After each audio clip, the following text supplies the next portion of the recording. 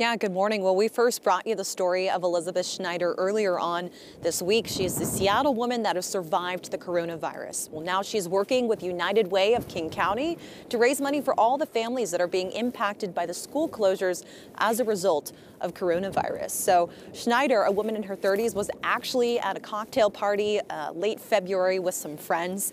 Uh, the week following that party, her and others were starting to feel sick. So she was tested and her results came back positive positive for coronavirus. She said she woke up with a temperature of 101 degrees and it only got worse from there. And by the evening, before I went to bed, it was 103 degrees, which is quite high and, and honestly the highest that I've experienced recently in my adult life.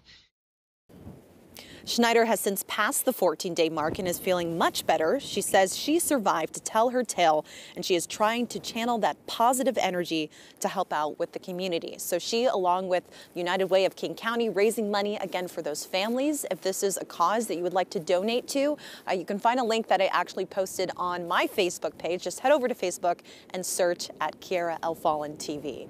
I'm live here in Seattle, El Fallon, King 5 News.